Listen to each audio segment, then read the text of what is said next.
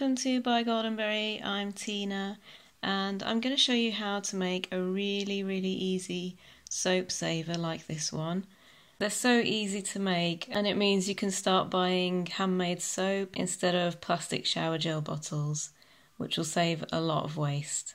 The size of this soap saver will depend on your bar of soap. I've made this one to fit the bar of soap that we usually buy and you'll be doing the same. So you'll you'll need your bar of soap handy to measure against.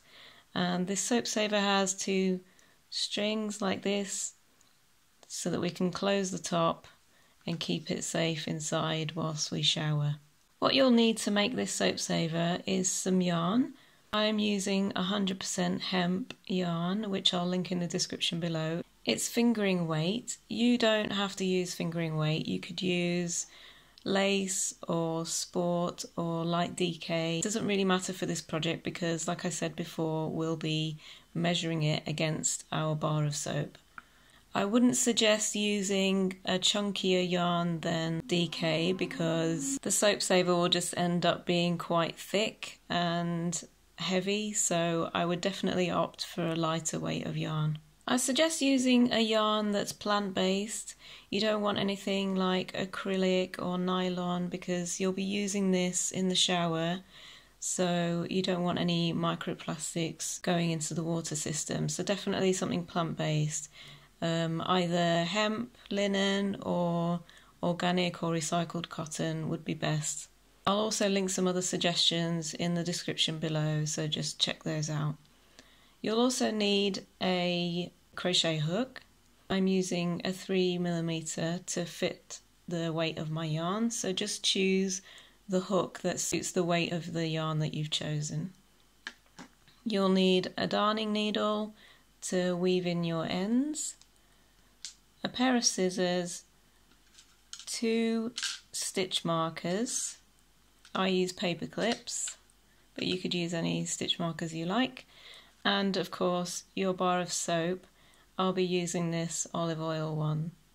For this pattern, I'm assuming that you know all the basics of crochet, like how to attach your yarn to the hook and how to make a foundation chain. We're also going to be using the double crochet stitch. If you're not familiar with any of these, then go and check out all my beginner tutorials and come back once you've gone through those. Okay, let's get started. We're going to start our soap saver by chaining an uneven number of chains. So I'm going to chain about 11 chains to reach the width of the soap this way. So if we're looking at it as portrait, we want it to reach from left to right. So I'm going to do about 11.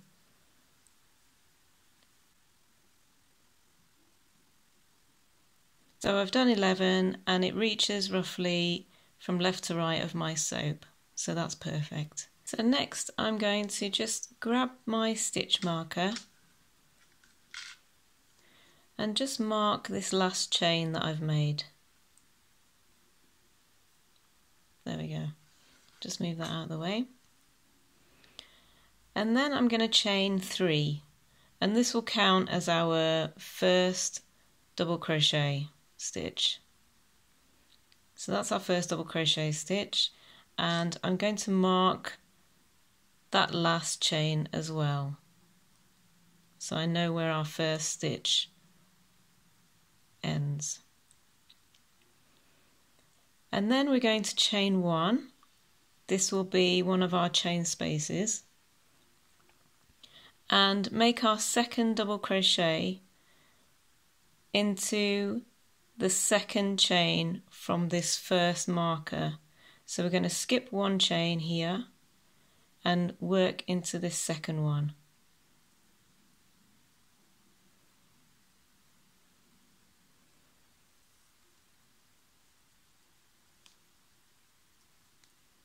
So that's our second double crochet stitch. You can see here that we've got a little square this is our first double crochet and this is our second double crochet. So we're going to carry on with that pattern all the way along. So we'll chain one and then skip the next stitch and double crochet into the next stitch.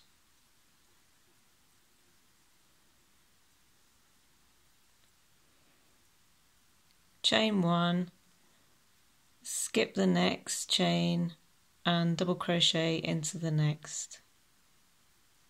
And carry on like that until you get to the end of your foundation chain. I've reached the end of my foundation chain and we're going to make another two double crochets into this last chain.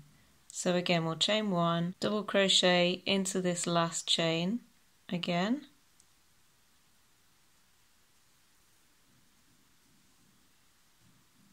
And one more time.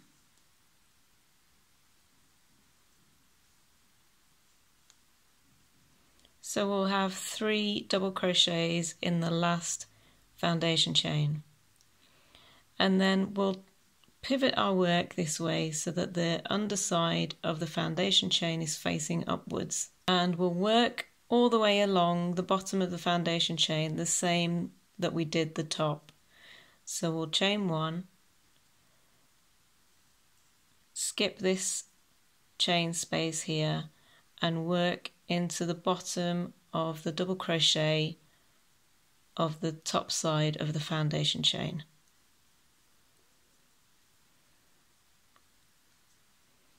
Chain one, find the next double crochet and work into the bottom.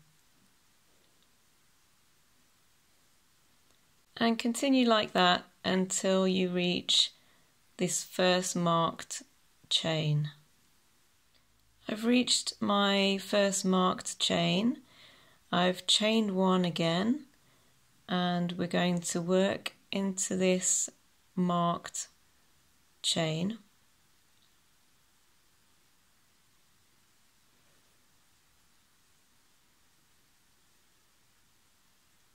Like that. And then we're going to chain one again and slip stitch into the second marked chain to join the two ends together. So we'll just remove these markers.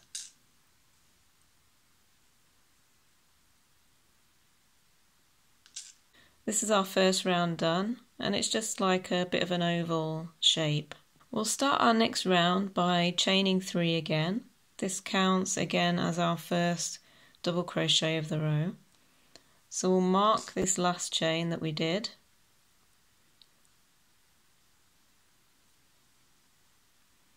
Chain one again and skip this chain space here and work into the top of the double crochet of the previous row.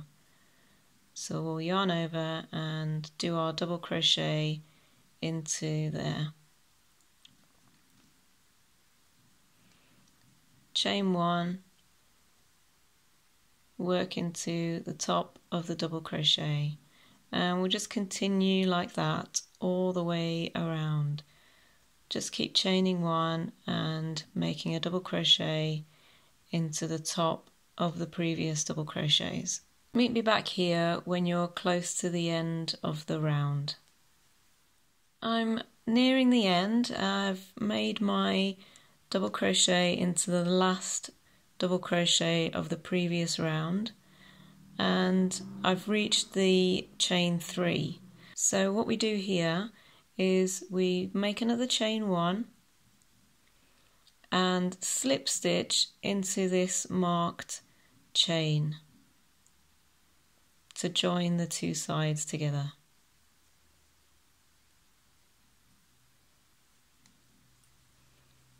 And there we go. So now we have like a little boat shape. This is what it should look like at this point. And the rest of the soap saver is just the repeat of the second round. So we'll just carry on as we were doing starting the round by chaining three. So I'll chain three again. Mark the last chain.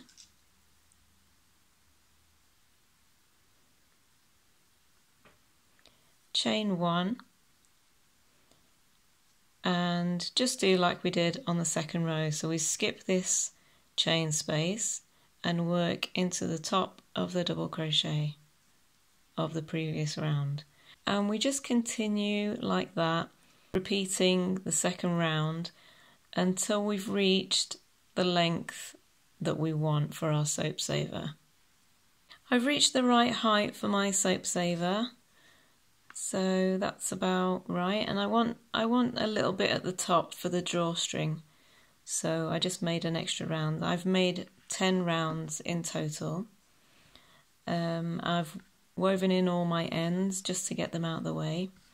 And what we're going to do next is take our darning needle just to make it a little bit easier to weave the strings in.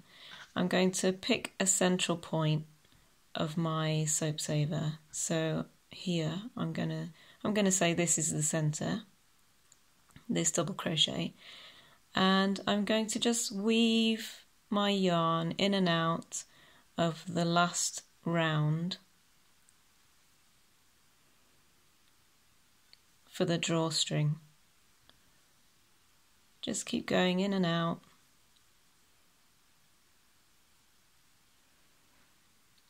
until we reach the front again.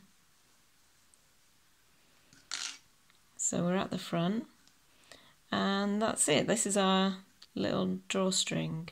I'm going to chop the ends, get my pair of scissors, just chop the ends and then make a small knot just to stop them from fraying. Make a small knot on both sides.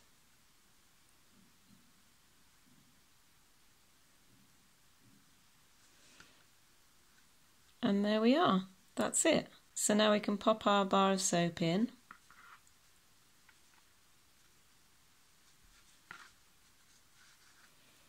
Use these strings to draw it closed. Make a knot or a bow whatever you like.